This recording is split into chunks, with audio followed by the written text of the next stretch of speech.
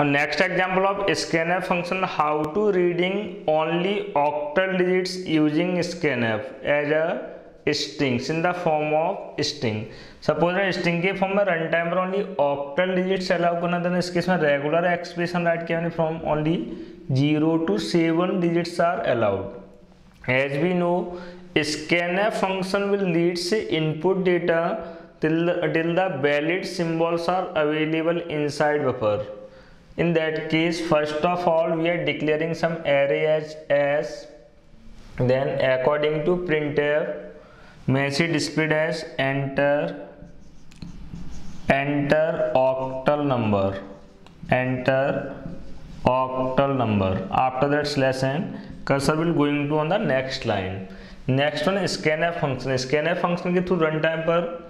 string read कराना then suppose that we are entering some string as one five seven nine one eight three like that जैसे data आप keyboard से press करोगे then इस case में data सबसे पहले स्टोर का हुआ? Inside standard input buffer like S T D in like that इस केस में रीड क्या होंगे? Only octal digits from zero to seven therefore it will reads one by one all symbol first of all one next one five is valid वेरलेट digit five seven is also वेरलेट octal seven then